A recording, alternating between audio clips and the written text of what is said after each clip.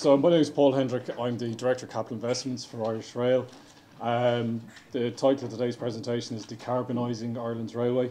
Um, what I'm going to try and cover is give you a bit of an insight into the Irish rail system, the network, how the business is structured, and then take you through, I suppose, the various programs and projects and long-term initiatives that we're looking at to develop the railway and ultimately to decarbonise the railway. Uh, and just a small bit by way of background, um, I'm a mechanical engineer by training, multidisciplinary engineer by practice. Project delivery is my background. Uh, I started with the client organisation. I worked on the original Dublin Luas Light Rail scheme back in the early noughties. Was responsible for the commissioning of the new rolling stock fleet. Worked in operations to set up the mobilisation of Transdev uh, and the maintenance organisations there. Uh, then I worked with uh, main contractors, including Laing O'Rourke, who I worked with for 10 years in Ireland and in the, UK. I uh, worked with Sisk, would be uh, uh, the main leading contractor in Ireland, and I joined the Irish Rail business two years ago. So, including the Luas project, I've worked on ESB network renewals in the early noughties, where we were renewing 28,000 kilometres of 10 kV overhead lines, distribution networks across the country. Uh, worked on various light rail extensions in Dublin for the main contractor. Uh, worked on Manchester Metrolink for five years uh, with O'Rourke in the main consortium team that trebled the size of Manchester Metrolink. It was about 36 kilometres when we arrived. When we finished, it's over 100. That's obviously a full 750 volt DC system. Uh, I went back to Ireland. I worked on Luas Cross City between 2015 and 2017. And that was effectively to connect the two Luas lines that were originally severed because they were deemed to be too difficult. Um, so I worked on that for three years, the project director. Uh, so I've done a, quite a bit around electrified rail infrastructure, albeit predominantly in the light rail sector. So in terms of presentation for today, just to give you the high level structure of it, um, I'll talk mainly about what we're doing in the Dublin Area Commuter Network, the DART programme, that's Dublin Area Rapid Transit. Um, I'll also talk about what we're doing in Cork, um, in the south of the country. I'll touch on what we're doing on the Enterprise line, that's the Dublin Belfast intercity service that we operate with our colleagues in Northern Ireland. And I'll speak a little bit about some of the other uh, operations that we have in Rosslare Europort, which I'll explain later, rail freight, and ultimately what are our long-term decarbonisation goals. So, a bit of the corporate stuff first. So, uh, just in terms of uh, the Irish Rail business and the network, how we set up, I suppose we're a bit like what GBR is going to become. We just didn't make the transition when you guys did in the 90s, so we've stayed the same. So we have we have the benefits of the integrated model, where we're effectively the train operating company, we're the TOC, we're the ROSCO, um, we're the network rail, and we're the capital projects all all in one roof. Network and services carrying about a million passengers weekly, uh, 5,000 train services on a weekly basis, about 630 carriages in the fleet, uh, just about 4,400 employees and that includes a direct labour organisation for managing the train operations business and managing the infrastructure maintenance as well. 2,200 kilometres in our network, 145 stations nationwide. So this slide, similar stats, so I'm, I'm, I'm only using it to just explain the network, just to help to get your bearings. So coming out of Dublin then we've got the intercity line to Belfast. Uh, again, that's a cross-border enterprise that we run with Northern Ireland Railways. Coming out of Dublin, then really the, the jewel in the crown for us is the Dublin to Cork main line. So you see it running in the southwesterly direction. That's really the spine of our network between Dublin, Belfast, Dublin, Cork. Uh, we then have other intercity lines from Dublin to Waterford, where we come off the Cork line. Um, and then we've a, a, branch to Limerick. We've a, branch off that line to Tralee and Kerry. Uh, and then if we look at the west, we've got branch lines coming off that main Cork line going to Galway and going to Westport and Ballina and Mayo. And then we've a dedicated uh, line from Dublin to Sligo. And obviously we've got commuter traffic on those lines in and out of Dublin and same with Cork uh, and some of the other regions also.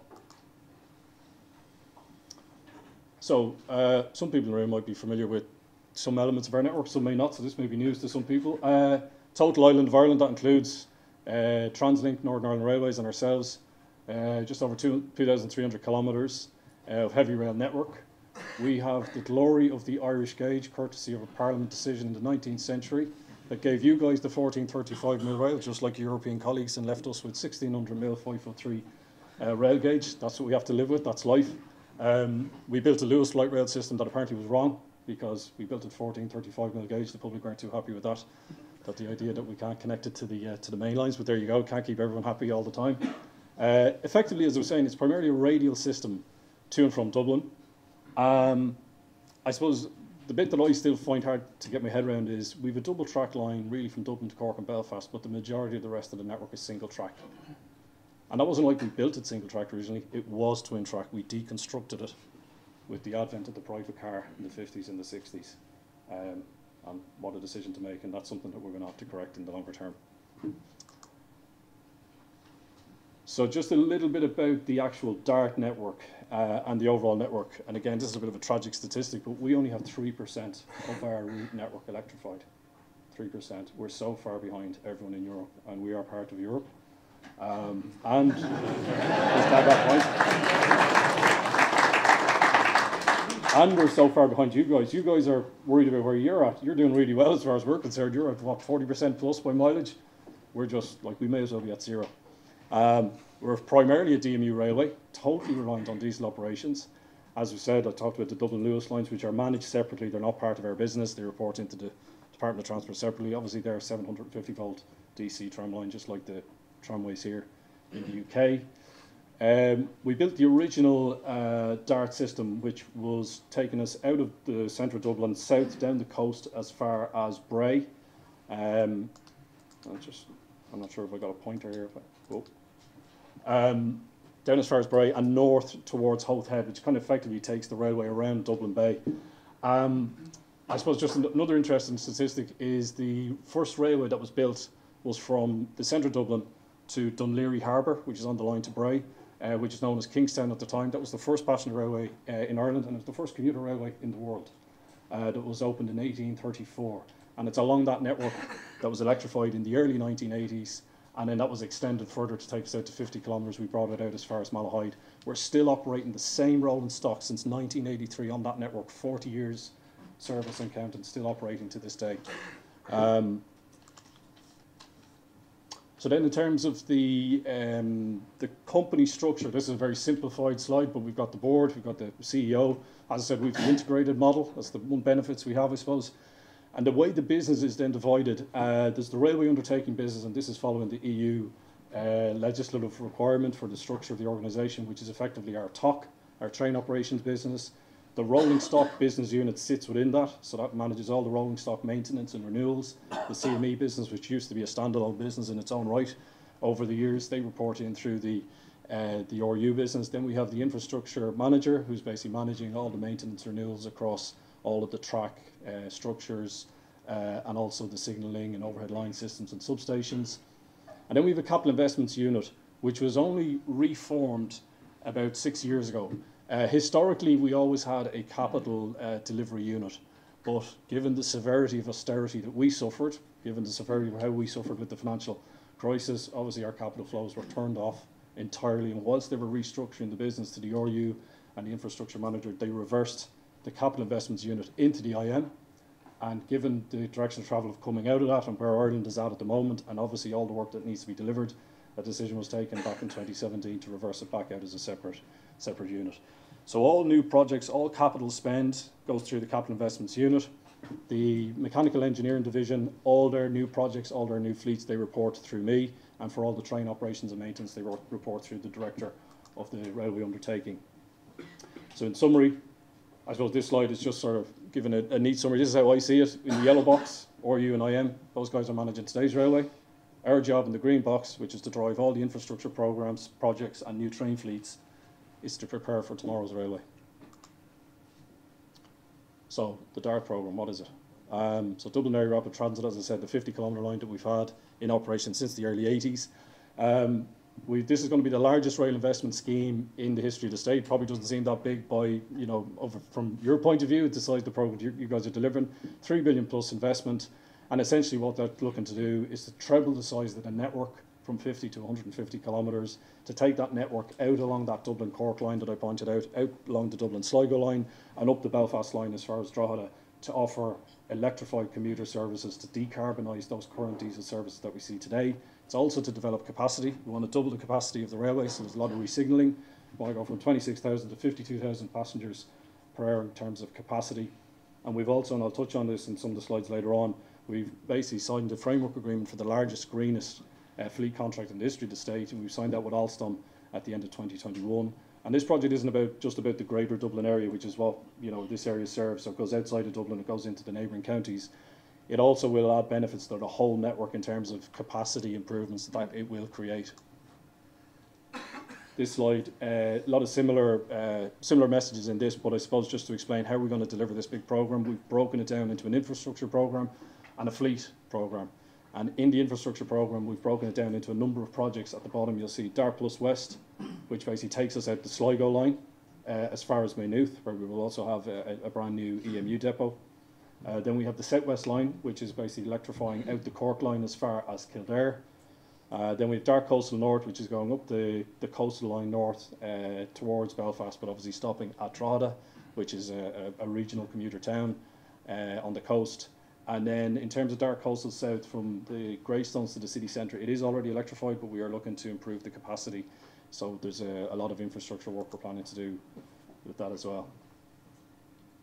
So Dart Plus West, uh, just a quick overview on it. It's 40 kilometres of electrification. Ultimately, it's about getting from six trains per hour to 12 trains per hour in the peak. Uh, new state-of-the-art maintenance depot uh, and stabling facilities for all of the EMU fleet, including the existing EMU fleet that operate today in Maynooth. New train station at Spencer Dock, which is in the city, which has an interchange with the Luas Light Rail scheme. And ultimately, it's about decarbonising those diesel commuter train services uh, and replacing them with new uh, electric Dart Plus trains. So we've called the programme Dart Plus just to distinguish it from the existing Dart. Just a couple of images. So primarily getting from six trains per hour to 12, improving that capacity on that line from 5,000 to 13,000 passengers, 40 kilometres of overhead electrification, 12 new substations, and we do need to close level crossings because we're going from six trains per hour to 12. Those level crossings will be closed more than they're open. That is a challenging piece of work for us, obviously, with the in the public consultation with the community, um, but it's a necessity to deliver the, the enhanced level of public transport service on that line. Brand new uh, train station at Spencer Dock. Uh, so we there's a station, an old station nearby. We're going to relocate it, build a brand new one, which will be a full interchange with Dublin's Luas light rail system. And, and a huge part of what we're trying to do is improve the integration in Ireland's public transport network uh, with our projects as well as the other um, the other businesses who are involved in public transport. Enhancements to Connolly Station, which is our main uh, our main hub, and we've got bridge reconstructions and modifications on that route. We're trying to do a lot of track lowering to minimise uh, bridge work as part of the overhead lines. Uh, brand new state-of-the-art depot. This will be the biggest depot uh, we will have when it's built. It's 36 hectare site. It's a massive site from uh, from our uh, experience of the depots we currently operate today, um, and that will be delivered as part of this Dart Plus uh, West project. Some of the uh, just again some of the photo montages. Huge amount of stabling capacity that we need to plan for the longer term. So Dart Plus Southwest again similar similar model. Uh, this is split up as a separate project. This is to take the electrification uh, down the Cork line from Heuston Station. Uh, it's about 20 kilometres all in, including the connection from uh, Dart Plus West, which I'll explain now in a second.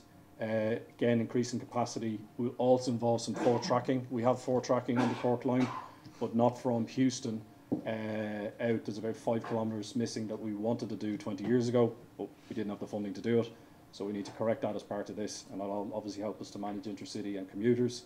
New station at Heuston West, same idea again. So they're just just a, an image of the route. If you just see the uh, the orange there connection with the green, that's where effectively it connects with the Sligo line. There's there's an old cutting and a tunnel where we run cross city services today. We'll electrify through that tunnel, and then the services will join effectively the Cork main line pretty much at the Heuston station. It's only about 300 metres away from the terminus. Uh, and then that'll give us a, a, dart system out as far as Celbridge in Kildare. Same idea as we talk about 20 kilometres, six new substations, and then obviously we do need to electrify through the tunnel section that goes under the Phoenix Park. Uh, then there's the four kilometre of the corridor widening that I that I spoke about as well, and various new bridge reconstructions that we'll have to do as part of that four tracking element. So then Dart Coastal North, um, so this is again same idea, uh, taking the existing Dart line from Malahide uh, in Dublin uh, and taking it north as far as Drogheda. It's just about 37 kilometres, um, which I should have on the next slide. Eight substations, one bridge reconstruction, again all about getting from 6 to 12 services per hour and electrifying to decarbonise the existing diesel commuter services that run there today. These are just some of the modifications, to, and we will improve some of the resilience around turnbacks uh, and stabling on uh, sections of that route to again help manage the increased service frequency. And then coastal south, we will look to reinfor reinforce the overhead line uh, power capacity in, in this line as part of this project. It is already electrified. We will look to improve the capacity from 6 to 12 trains per hour as part of this programme of work as well. And as I said, the level crossings, just the image with the red circles, they're, they're probably our greatest challenge because that's a, a key part of the city where there's a lot of traffic flows. So how are we, I suppose, how are we securing the planning and consent that we need for this, statutory consent for these big schemes and funding? So, you know, as I said, we've broken it out into four projects. It's managed within one big programme hub team. Uh, just at the very top, you'll see DART Plus West. We have lodged for a railway order. We have to go through uh, a board called An Bord Pleanála, which is basically like a national planning board governed by statute. Uh, so we've lodged our railway order application uh, in the summer just gone. We're hoping to get a decision by the end of the year. And we've also just lodged DART Plus Southwest, as in a month ago, and hopefully get a decision next year on that. And then we're working towards lodging railway orders for DART Plus Coastal North and Coastal South over the course of the next 18 months. So the other big part of the DART program, is probably the one that's the, the most visual for the public, is the new DART train fleet. You'll see a picture of Peter Smith, our Chief Mechanical Engineer, uh, Jim Meade, our CEO on the left, and the, uh, the Chief Executive of Alstom, Henry Poupart-Lafarge, signing the uh, framework agreement in 2021, which is for 750 new uh, electric rail carriages. So there's, there's a 10-year framework agreement.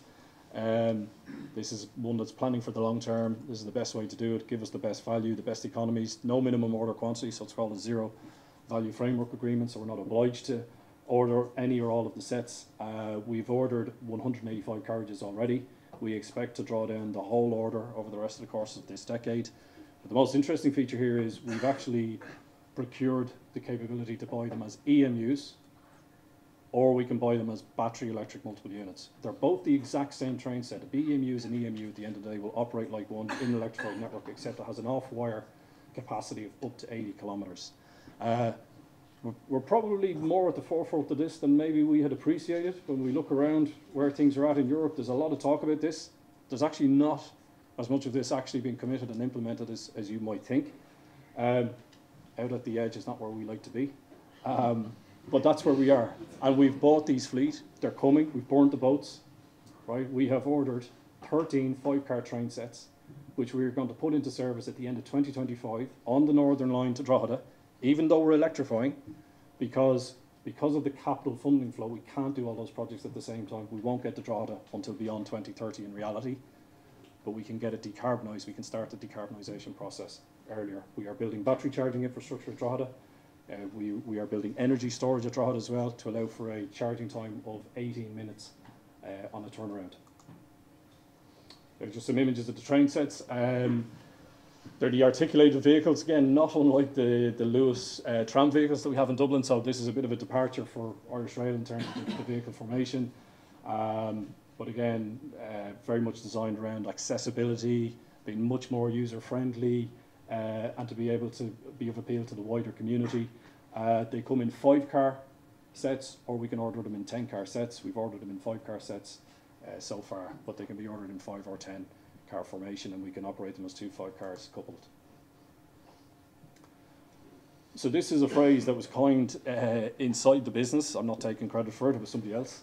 And it's now been kind of coined quite a lot uh, around, let's say, the, the public discourse and, and helps to drive, I suppose, behaviours and momentum various strategy documents we've put in place, which has been really important to put strategies out there, even though people aren't always going to subscribe to what we're saying. If you don't put these strategy documents out there, it's very hard to get the traction around what you're doing. So we've a 2027 strategy, we've a rail freight 2040 strategy. We're responsible for rail freight as well as a company and a sustainability strategy. And I suppose the challenge that we face is to deliver all of this work in the short term and is termed a decade of delivery of what we need to do between now and 2030 uh, to move this agenda forward. So that's just showing you the DART Plus uh, extended network there in the orange lines. As I said, uh, you'll see the Howth to Greystones line is the existing line, but uh, and beyond Malahide, but you'll see it extending out west and southwest, and it's just a summary slide of some of the stats that I've already called out.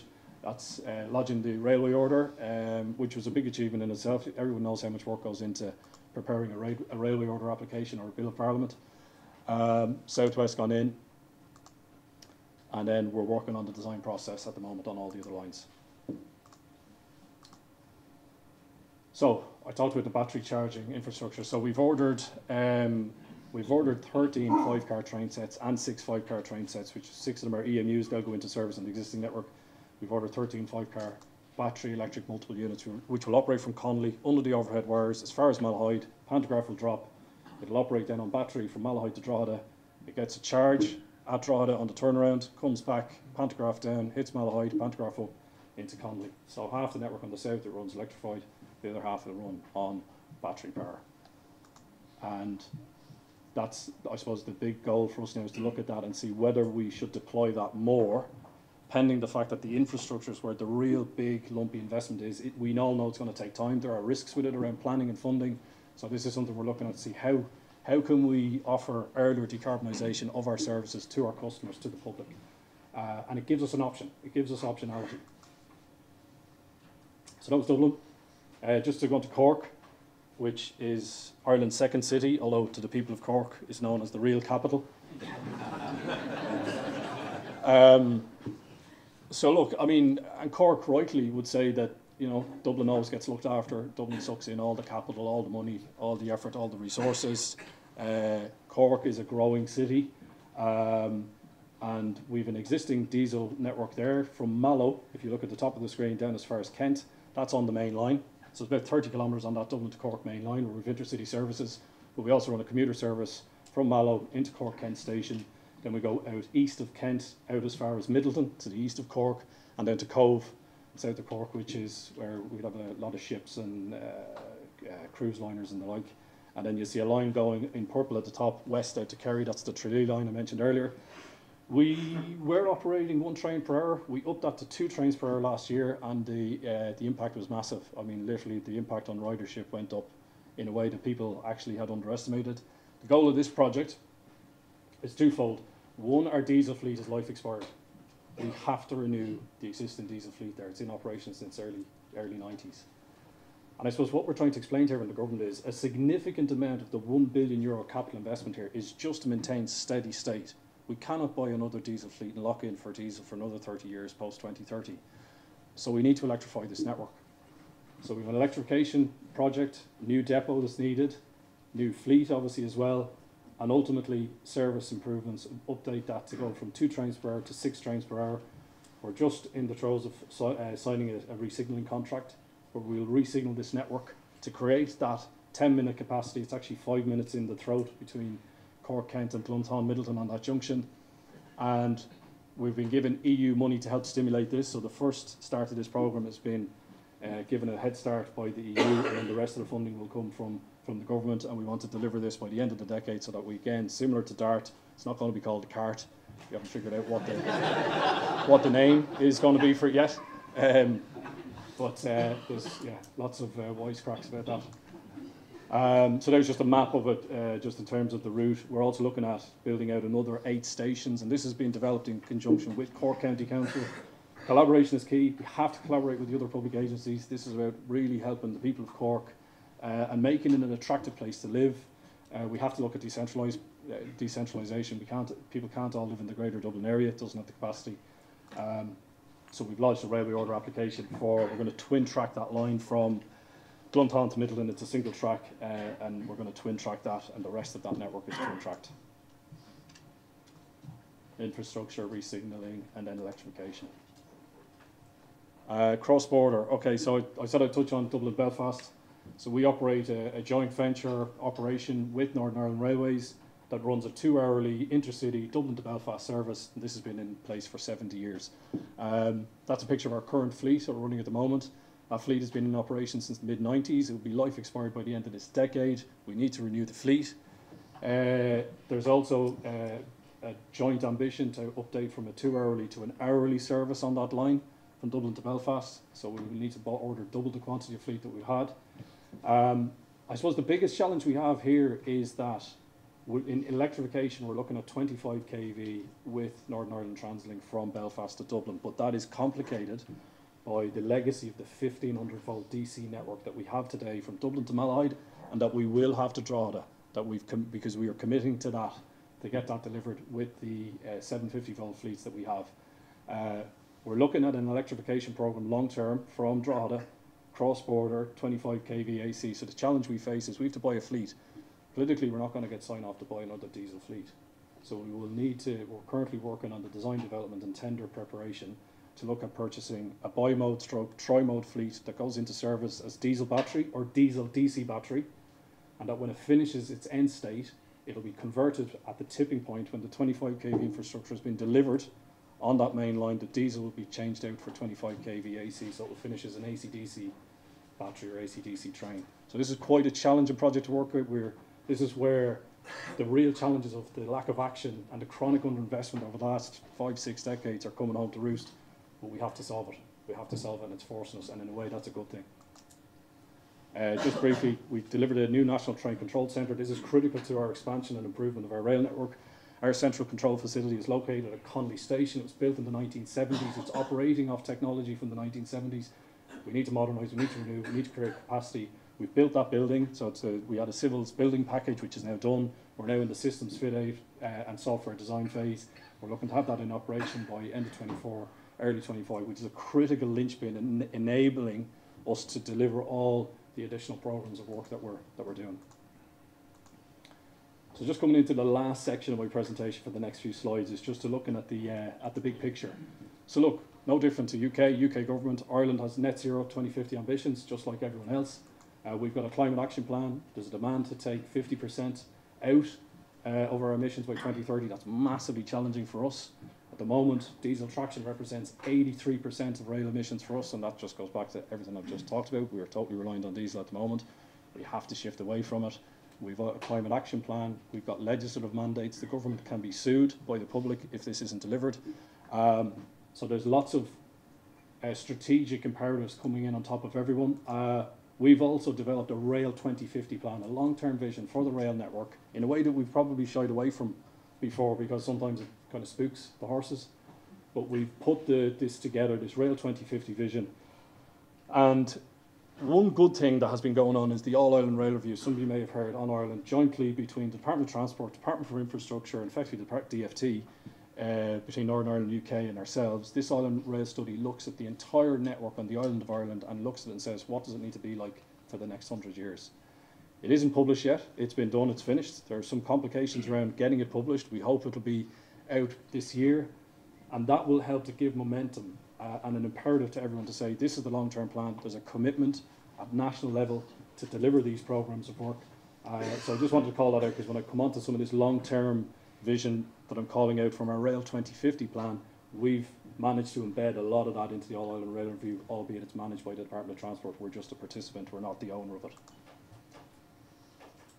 And I suppose this is the context you know, look at the island of Ireland, our history. 200 years ago, we were up above, up at 8 million. Uh, obviously, everyone knows the story, uh, why we have the Irish diaspora in every country around the world. Uh, huge emigration to here and to the, the States and Australia and various other places. Really, we went through huge stagnation in the 20th uh, century. Then we had the advent of the private car, population decline, and there just wasn't that case for significant rail investment. But the growth that has gone on in the last 30 years, particularly with our entry into the EU. Uh, not to stress that too much, um, but it has brought enormous benefits, right? So we have to we have to acknowledge that. Uh, we've created an open economy. Foreign direct investment is a huge part of it. That's our that's our sovereign wealth, FDI. We're generating a surplus as a country now. We've gone from a desperate deficit where we were on our knees. They reckon we're going to generate a deficit of up to 20 billion euro next year. The government now has a first world problem because there's massive pressure on it. it has 20 billion surplus. It's now trying to figure out how to manage expectations. But that should be a good thing in terms of the public investment that's required in the country. So we're heading for 6.2 million long-term projection for the Republic, 2 million in the north, heading back to where we were. Aging population, like everybody has. This is the feature that we're all going to have to deal with in the Western world. Migration, obviously we will have net inward migration to help us to support our economy. We don't have the birth rates that we had, nor does uh, any of the countries in the Western world. Uh, and obviously a big focus on compact development in around the cities, making them obviously sustainable cities to live and work in, and a key part of the, the national policy. Biggest crisis we have at the moment, and I see it somewhat over here, but not as much as housing. You know, we've kind of gone from crisis to crisis. We went from the financial crisis uh, to various kind of post uh, financial crisis to COVID. Then we have the war in Ukraine, macro inflation. Housing is actually the biggest one for us. The young people in Ireland, the housing is it's become unaffordable. Developers are struggling to develop. Real issue is is we keep trying to build around Dublin. We can't keep building around Dublin. To get a proper housing strategy, to make it a sustainable place for young people to live and, and their families, we're going to have to look at a much better integrated transport system, integrated infrastructure to help the economy. This is just becoming a no-brainer. Um, couple of last slides. Rosslare Europort, you're probably wondering what's that doing in here.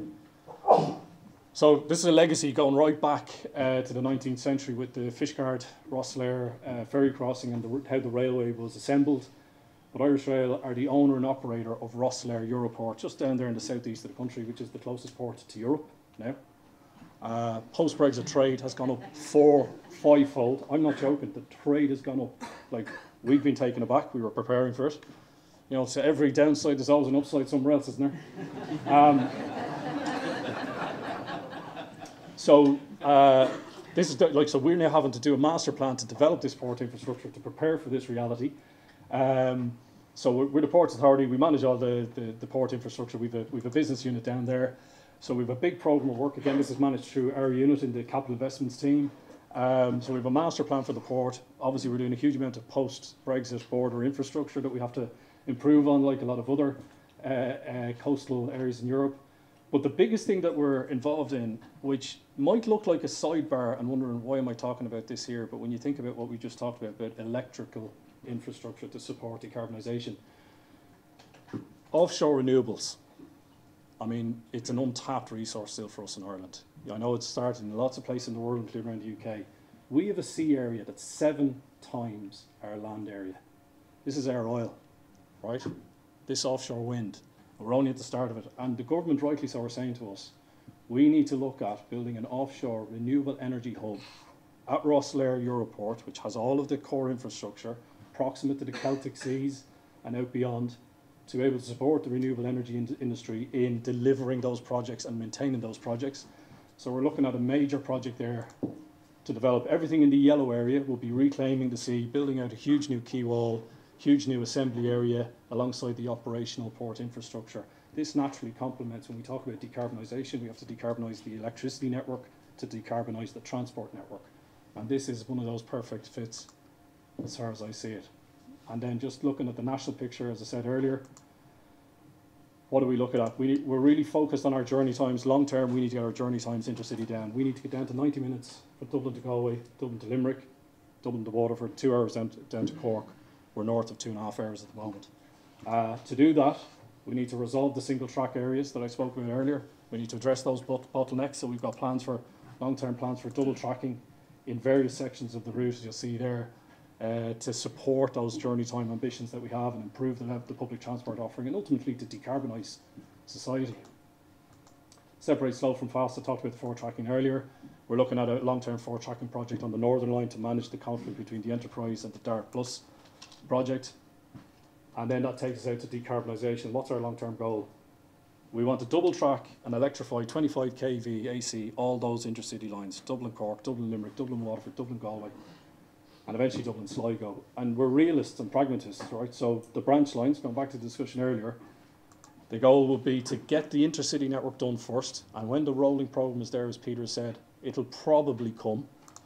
But we're looking at, say, a hybrid battery option for the branch line so that you'd have, again, not dissimilar to what I spoke about on the Dart fleet. And we will have to look at hydrogen. I know this conference is not about hydrogen, doesn't want to speak about it, but we will be forced to look at it and we will need to consider it, and we are considering it in places. Lastly, rail freight. We have a rail freight business. Uh, we have a business unit. 1%, that's what we're doing at the moment. We're moving goods in Ireland 1% by rail. It's 20% plus in Europe, miles behind. We have to decarbonise the movement of goods around our roads network. Uh, this rail freight, um, this rail freight business and the development of it is key. We need to develop the infrastructure. We're currently rebuilding a 42 kilometre line that was shut in 2000 from Limerick, just down the southwest, out to the port of Foynes on the Shannon Estuary. Uh, we've started constructing that. Uh, that was closed 20 years ago, and again, that is with support from, from the government to create a network that's properly connected to our ports and gives us options on rail freight. Lastly, this is the um, this is the long term 2030 as I spoke about. 2040 then is obviously there's a Project Ireland 2040 plan at government level. 2050 net zero. So really we're talking about a decade of delivery, but we're really talking about three decades of delivery, and we need to get to that rolling program we spoke about earlier. Absolutely crucial if we want to get there, and that's going to be, take a lot of capital over and above the projects I already talked about. We see it being as a minimum 20 billion. Therefore, you're looking at 800 to a billion a year over that timeline if we want to achieve the goal to decarbonise the railway, to decarbonise society, if we want to achieve the climate action plan that everybody's working towards. That's it from me. Thanks for listening.